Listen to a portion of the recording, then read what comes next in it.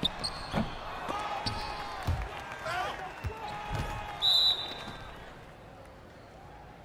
wait for me. If you see it, just go. That's go.